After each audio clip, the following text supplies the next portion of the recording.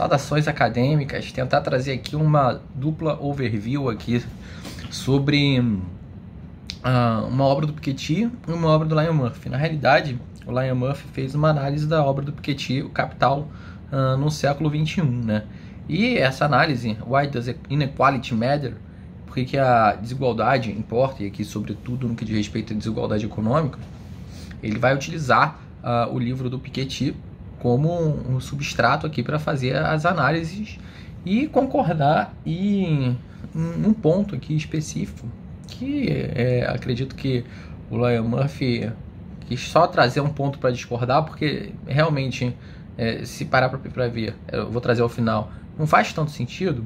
É, parece que ele, ele, ele meio que quis supor que um, um, um mole que o Piketty deu né? mas acredito que isso não é, é, é, é tão é, relevante. O que interessa aqui realmente eu acho que é o trabalho do Piketty, né? Para isso tem um filme no YouTube, 6,90 em HD, 3,90 é, em, em, definição baixa, né? É, vale a pena ver, talvez eu assista de novo. Eu cara, tem 48 horas aí para para de aluguel, né? Já se passaram umas 12, talvez dê tempo de ver de novo. E o filme é muito interessante. O filme é, é sensacional e uh, a revisão histórica que ele traz, desde a, a Primeira Guerra, uh, desde, enfim, é uma, é, é uma grande é, é, é, uma aula de história, uh, também uma aula de humanidade o filme. E aí traz umas experiências bacanas, né? Dessas experiências de grupos de pesquisa é, que fazem. É, é, colocam gente e começam a filmar a reação das pessoas. Ah, o que acontece é. Deixaram. Pegaram umas. Ah, ah, umas pessoas, né? Em torno de 100 e colocaram pessoas para jogar jogos tabuleiro, né? Tipo o banco imobiliário da vida. E aí, antes da, da, do início do jogo, né? Se todos tivessem pé de igualdade, todo mundo ia começar, geralmente, ia sortear no dado, ia ver quem começava. Mas aí antes, é, eles tinham que tirar a cara ou coroa. E aí quem tirava a cara, ele, essa pessoa, ela recebia dois dados e já entrava no jogo com do, o duplo, do, duas vezes os, os recursos, né? Então, para um banco imobiliário aí, já vi que já ia ter uma grande vantagem, né? E aí, engraçado é a reação das pessoas é, durante o jogo, né? Que na filmagem, né, aparece que quando as pessoas começam, tá ok, né, ainda que já tenha uma, uma vantagem, né, mas aí vai passando o jogo, aí essas pessoas que tiveram mais é, recursos, né, essas pessoas que têm do, dois dados, os mais ricos no jogo, começam a comer mais pretzels, começam a falar mais, ter um pouco, um pouco mais de arrogância, né? Começam a tratar os outros é, de uma forma inferior, né? Só por causa daquela circunstância, daquela realização de poder ali. E, e, e assim, começa a aparecer mesmo essa, essa, essa, a, a, a, o quanto que a desigualdade econômica, né? Com quanto que essa, essa, essa diferença econômica é baseada na sorte impactou aqui as modificações postura mesmo psicológica da, da pessoa que ainda que se tratasse de um jogo, né? Ah, as pessoas falando, ah, eu vou, eu vou comprar todo o tabuleiro, ah, você vai perder. Começou a, a, a ter assim postura sem, sem menor tipo de pretensão de ser elegante, né? E aí isso reflete, óbvio, a, a, a nossa, a nossa atual nossa atual fase e nosso atual estágio do capitalismo, né? Essa questão de desse tratamento tão é, desigual, né? Que essas desigualdades econômicas têm outros efeitos é, indesejáveis, né? Bom, é, e, e, sobre esse filme, lógico que eu vou destacar outras coisas, mas é, me chamou bastante essa, essa, essa experiência, ainda que depois uh, esses é, é, participantes, os pseudo-ricos, foram estados a se manifestar, por que, eles acharam ganhar o jogo, nenhum desses 100, dessas centenas aí de participantes falou que foi por causa da sorte. Da, que, que, tirou cara e não coroa, né? Porque ele começou com dois dados, começou com um duplo, du, duas vezes mais dinheiro. Nenhum dos participantes assumiu isso, né? Então veja, é, é, é, é o que acontece, né? Nossa vida talvez não seja um jogo banco imobiliário, mas é, ela tende para essa, essa, esse, essa, esse tratamento tão desigual em relação à, à diversidade e disparidade econômica. E um, um, outro ponto que essa experiência ela tratou também de pegar pessoas de todas as classes sociais, pessoas que eram pobres, pessoas que já eram ricas, enfim. E todas, inclusive os pobres que ficaram é, momentaneamente mais ricos, apresentaram a, a mesmo, o mesmo tipo de comportamento, é, essa petulância aí. Bom, e aí voltando aqui para o texto, depois dessa gigante contextualização de 5 minutos, é, o Piketty, no, no Capital do século XXI, nessa obra dele, nesse best-seller, ele faz aqui um apelo por aqui uma economia que não seja apenas matemática, que seja uh, com dados econométricos e tal, mas que seja uma economia realmente uma economia política, uma economia histórica, que se baseie aqui na, nas circunstâncias, enxergue mais pro social, né? E a crítica do Piketty, lógico que esses, muito, boa parte dos livros é voltado é, com obsessão dos economistas pela econometria, a, a, a, decisões né,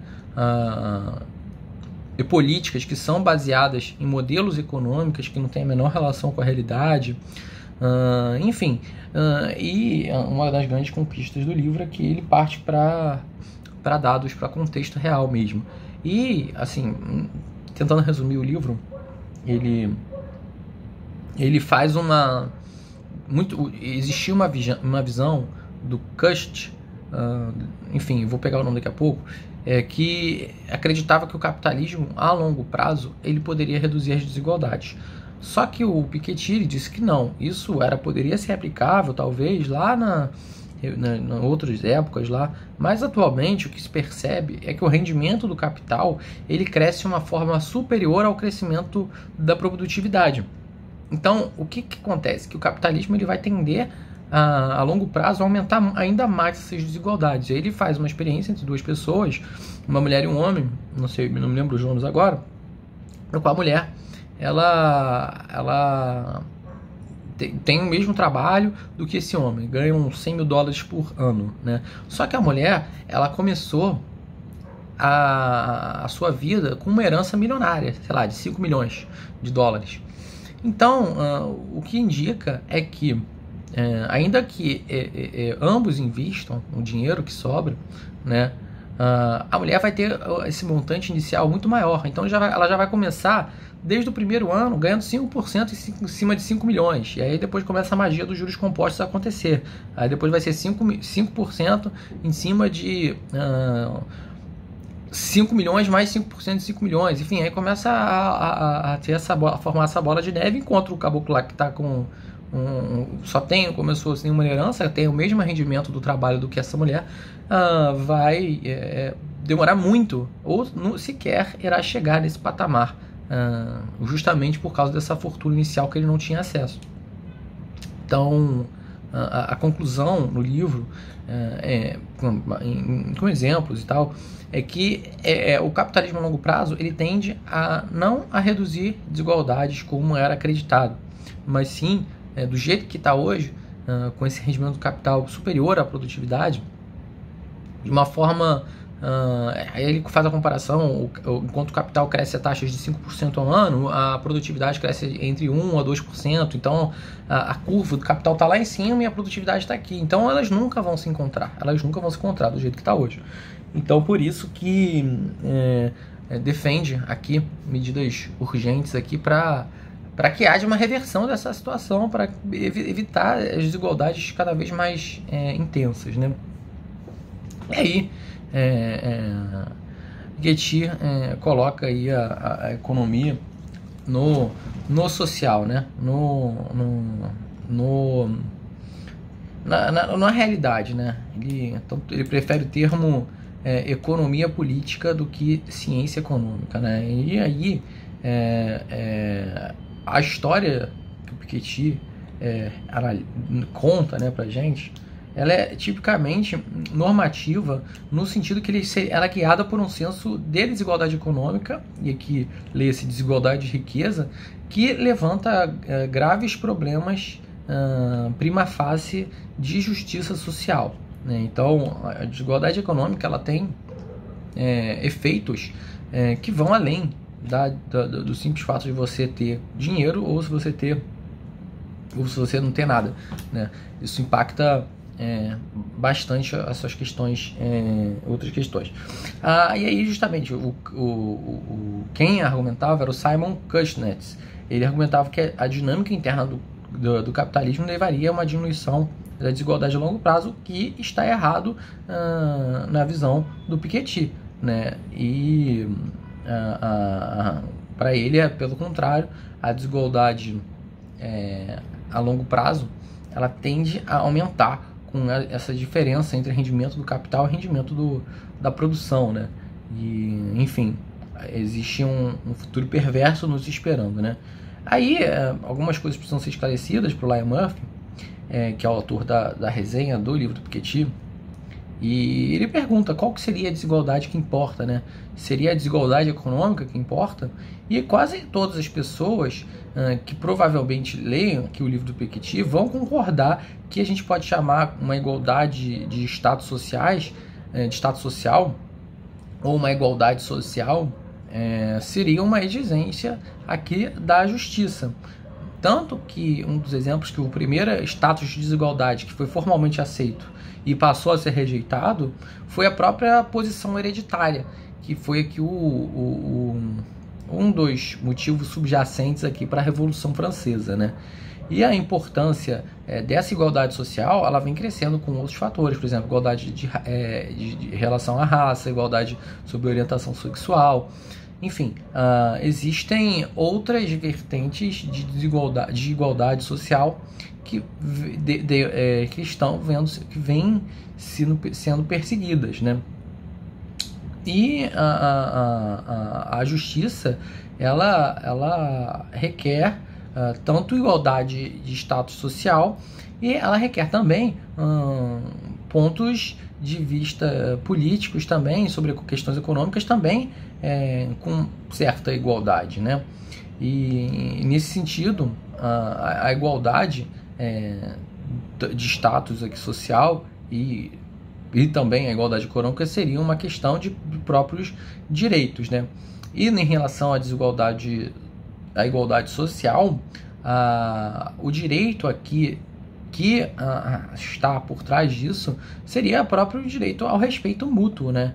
Uh, a ideia de que a gente não pode considerar alguém menos digno de outro por causa de alguma identidade social, seja orientação sexual, seja raça, seja sexo, enfim.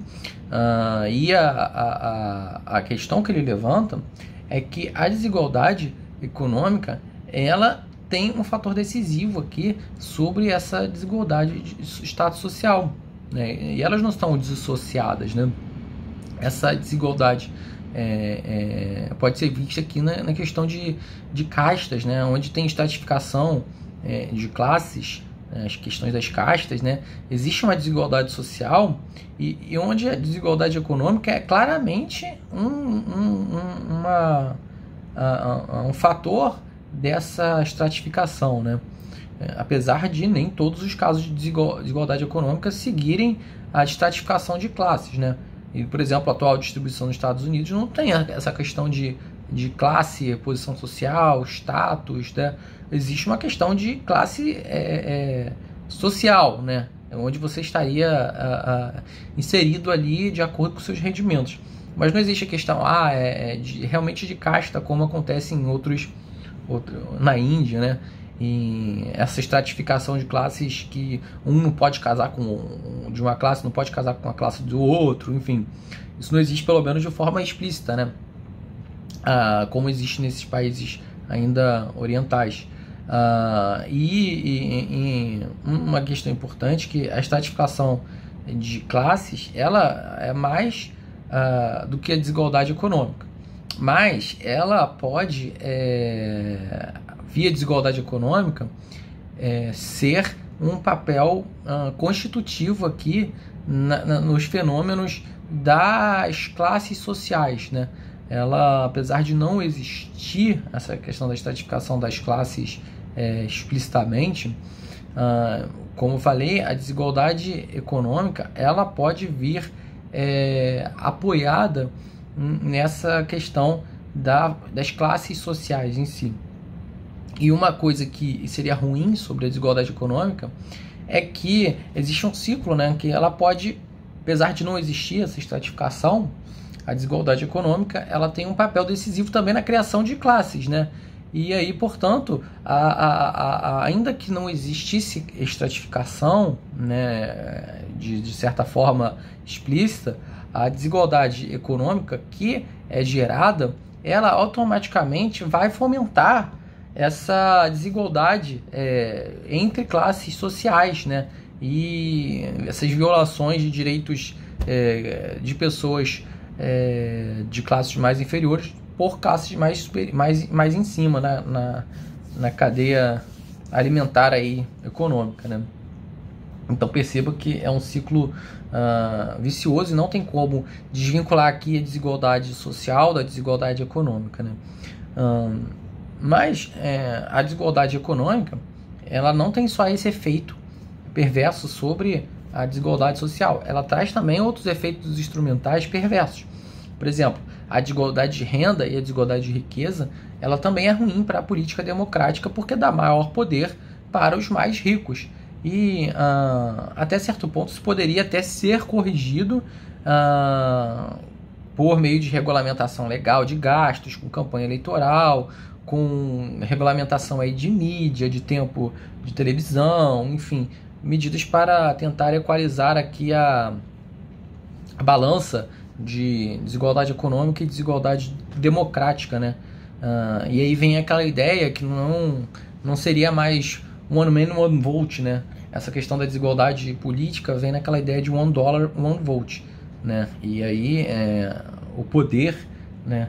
É, impede que haja essas regulamentações. O próprio poder econômico tão forte, tão que exerce tanta pressão, tanto lobby, impede que haja um bloqueio dessa uh, regulamentação de gastos de campanha, de propaganda, de etc, etc, que poderia permitir uma maior igualdade política aqui. Então, existe sempre uh, uh, quem tem dinheiro consegue é, mandar em tudo, né? E, em, enfim, isso acaba deixando a, a maioria da população cética e, e desengajada aqui do próprio processo de participação política, porque a gente sabe que não vai dar em nada, né? E aí a gente deixa de utilizar os nossos, uh, os nossos direitos que até então eram constitucionalmente assegurados. E uh, é um efeito negativo sobre a desigualdade, né? A, a, questão de você não ter essa participação, né? De, de é, te tirar do jogo de participação política, né? Então, a, a, a preocupação do Piketty é, com a desigualdade econômica também reside com questões políticas, questões, é, consequências sociais ruins e muito é, desse impacto da democracia negativo é, em virtude das desigualdades de renda, é, das desigualdades de riqueza, ela vem acompanhado do ressurgimento aqui de uma classe rentista. E essa classe rentista, é, é, esse capitalismo rentista, é um termo utilizado para que descrever a crença de que algumas práticas econômicas, como a monopolização, o monopólio do acesso de qualquer tipo de propriedade, seja ela física, financeira, principalmente agora a questão do capital intelectual, é, ela é utilizada na, com a obtenção de lucros significativos sem contribuição, sem contrapartida para a sociedade. É aquela, ideia, aquela questão do, do velho da revolução industrial da pessoa que é dono de uma propriedade do, do, do processo produtivo né e, e, de contrato né você é o trabalhador e na hora de retribuir ele retém parte dessa do, do, do, dessa retribuição para ele justamente porque ele é dono dos processos produtivos isso aí se aplica a milhões de questões por exemplo a questão de aluguel né da rents eh, os rentistas eles simplesmente têm a casa vai valorizando, vai, vão pagando aluguel e tá tudo certo. E não tem nenhuma contribuição para a sociedade, né? Enfim, ah, ah, ah, essa é uma questão preocupante, né? essa classe rentista, ainda mais no mercado de capitais, onde você investe seu dinheiro, deixa você você tem o capital, deixa seu capital ali rendendo, rendendo, rendendo, e as desigualdades só aumentando, só aumentando, porque a produtividade a, a, a, taxa de crescimento do produto é muito inferior do que a taxa de rendimento do seu capital. E isso vai cada vez aumentando mais né? a, a, a desigualdade, porque só quem tem o capital que vai ter esses benefícios desse crescimento do, do capital. Já o pobre, que não tem esse capital para investir, ou pelo menos não tem do mesmo tamanho do que um, um rico, e, e, vai ficando cada vez mais é, é, sufocado aí por ter que trabalhar ou por não ter como ganhar tanto dinheiro que esse rico ganharia. Né? E é um grande impacto é, que essa volta dos rentistas é, e agora de uma forma 2.0 via a, a, capital, ela vem impactando aqui. A preocupação do Piketty também é retornar aqui os níveis de desigualdade dos Estados Unidos, uh, o que era aqui às vésperas da Primeira Guerra Mundial. Se lembra que o imposto progressivo ele foi instituído em 1913. Então veja que ah, talvez exista uma relação aí com a necessidade de arrecadação, de taxar a aristocracia para é, custear aqui as despesas de guerra.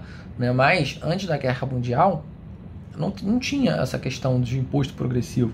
E imposto progressivo também na Segunda Guerra Mundial foi bastante é, enfatizado, por quê? Porque os pobres tá tudo devastado, gente. Não tinha mais nada. Vai, vai taxar o quê? Vai conseguir o quê dos pobres? Então sobrou para a aristocracia né, para custear os gastos governamentais. Né? E essa preocupação do Piketty de voltar à desigualdade justamente por causa dessa. Do, é, o filme lá mostra bastante a questão da, da, da, dos empregos sendo cada vez, cada vez menos vagas de emprego, ou pagando uma merreca, ou as pessoas. O fenômeno aqui da, de pessoas virando cada vez mais autônomas, né? É, começam a correr riscos é, extremos com o seu próprio trabalho e, e, não tem nenhuma contrapartida em troca de, de seguro e tal. Então a gente percebe que a, a, a desigualdade está voltando pouco a pouco, né? É, e não sobra nenhum dinheiro para o lazer, por exemplo, que seria tão importante, né? E, enfim, para resgatar um pouco da dignidade da pessoa. Não, tem que ficar trabalhando igual condenado, ficar fazendo 50 entregas por dia de, de Uber, de, de sei lá o que, e sem garantia nenhuma de que se acontecer alguma coisa com essa pessoa, ela vai poder ter algum auxílio do governo, né?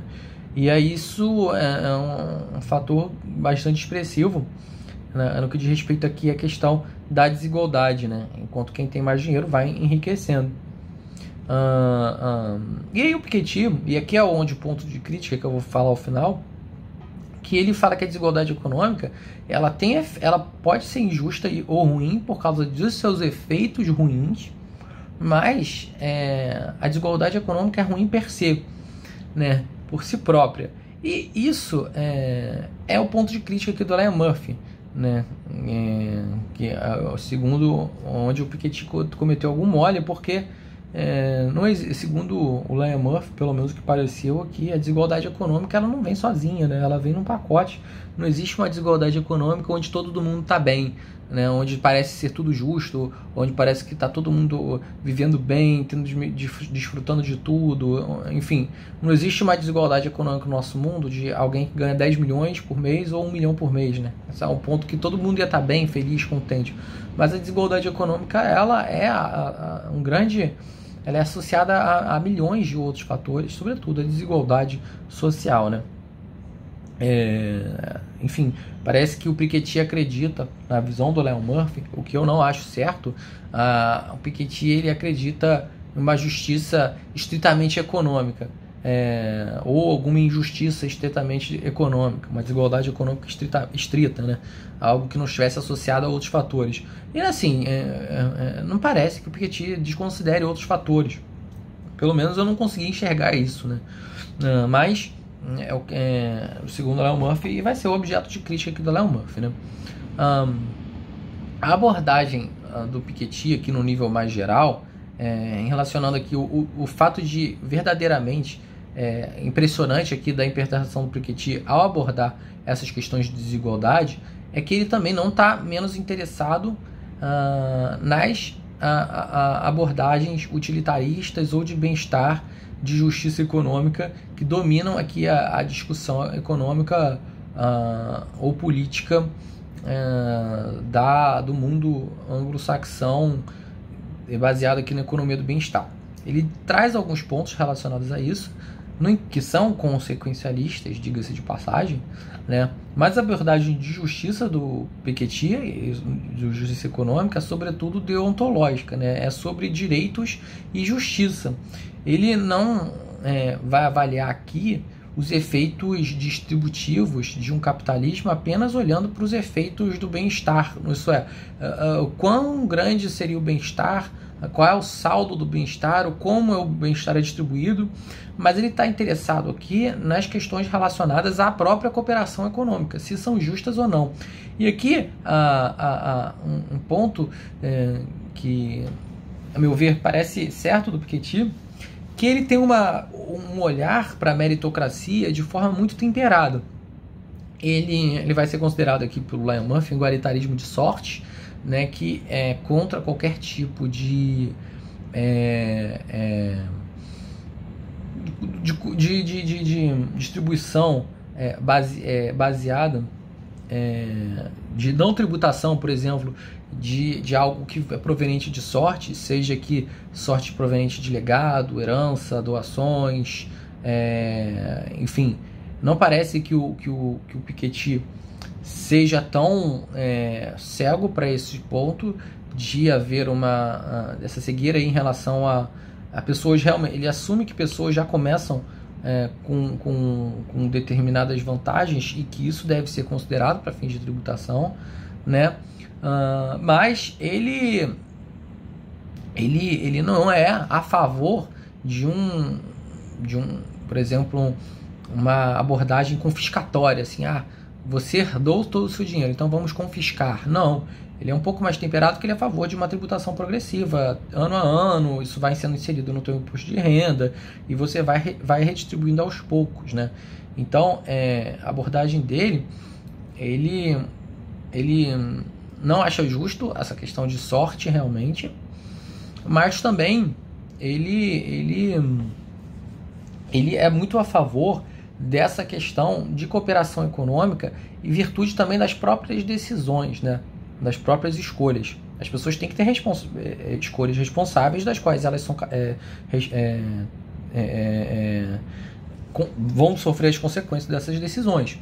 Mas também me parece que ele considera uma, uma, uma outra cegueira se a gente pegasse essa, essa, essa esse, esse, fato de que as decisões são de cada pessoa, é isso que deveria ser considerado, as próprias decisões são. É, as pessoas são responsáveis pelas próprias decisões, mas a gente tem que ver que muitas das vezes as pessoas não têm escolhas.